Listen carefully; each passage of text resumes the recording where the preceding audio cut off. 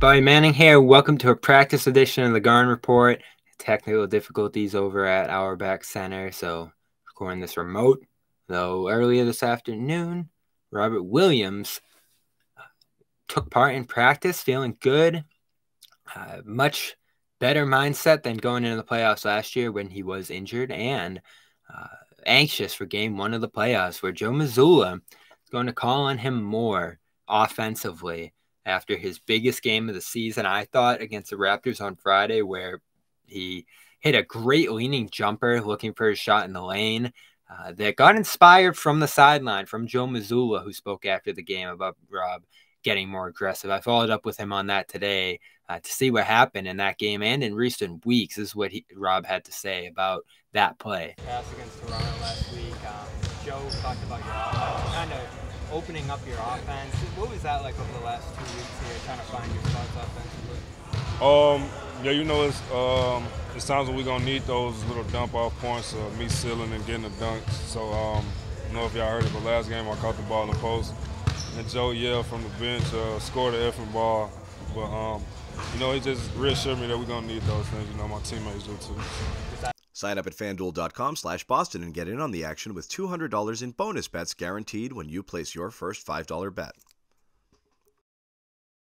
Surprising to hear this from Joe late in the season. Uh, of course, not many opportunities to get Rob involved, though we have discussed his decline in terms of usage and activity offensively this season. It looked like the focus for him would be screening, rolling, freeing up other players, and offensive rebounding. And that's what the Celtics would live with. Uh, take the impact he can make, and maybe into the future you can dream of all these other things we've all discussed when it comes to him impacting the team on that end of the floor, the passing, uh, the shot that looks like it's there to some degree, and him looking for his own shot underneath when he gets those opportunities.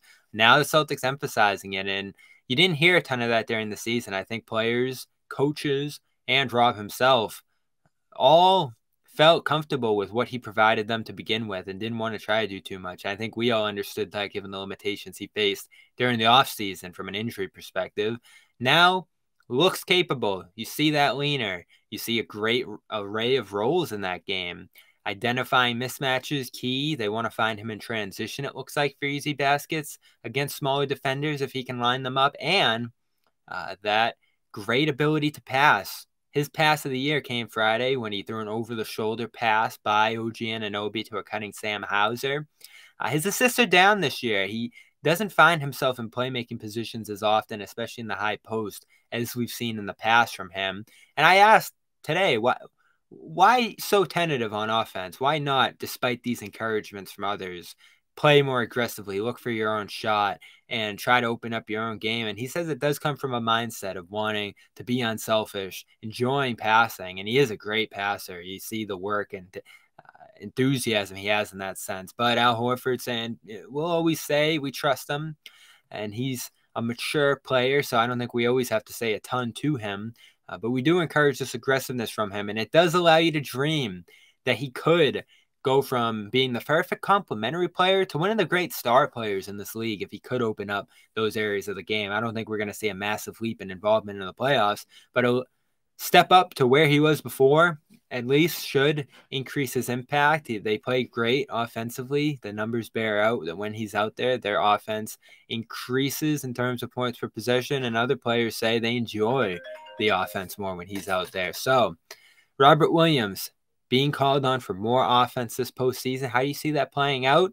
Uh, see how Rob reacted to that today and uh, what Al Horford had to say about how they're trying to set up their teammate for more offensive success heading into the playoffs. Uh, for now, our coverage of South, uh, Hawks Heat, uh, the deciding game and who will face the Celtics game one, goes live tonight on CLNS Media Celtics All Access. And of course, check out our other video today talking about Jaylen Brown's all NBA candidacy, which I wrote about for SteelHuntersMedia.com. Bobby Manning, this has been the Garden Report, practice edition. We'll see you back at practice on Thursday.